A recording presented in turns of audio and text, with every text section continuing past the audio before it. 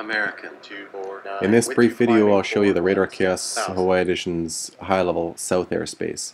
The job in this sector is to connect traffic to and from the Hawaiian Islands to points west. So aircraft going to and coming from Japan, China, New Zealand, Australia, and so on.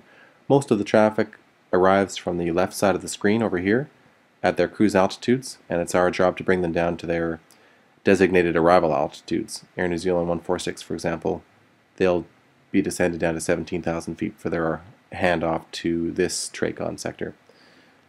Here's an American 249 that's just been given to us by uh, the Maui sector, and right now they've only been given 16,000 feet. And without even reading the instructions, I can already tell that this aircraft is supposed to be given 34,000 feet and sent direct a waypoint called Briun, which has already been done for us. So I'll assign 34,000, American 249, maintain and aside from making sure that they don't conflict with anybody, my work is done. And I'll hold on to that aircraft until they get to about here. Then I'll hand them off to the Oceanic controller. Here's a handoff from the high-level north sector, which you may have already tried. I, I own the airspace above these Tracons, 17,000 feet and up, in fact. So it's their job to give this aircraft to us, and we will briefly talk to the aircraft before handing them off to Delta the um, Tracon controller down here.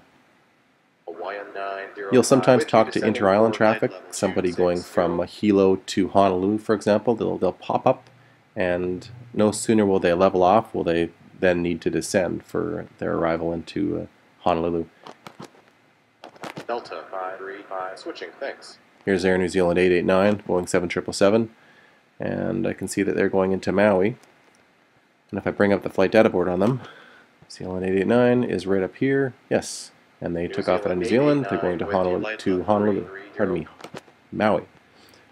Without reading any instructions, I know that they are to be given 17,000 feet.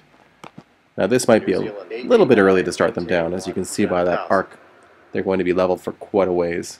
A more efficient way to control airplanes is to wait until an ideal top of descent point, something a little closer to the Tracon airspaces. That's it for now. I hope you uh, will watch the other five videos. Thanks.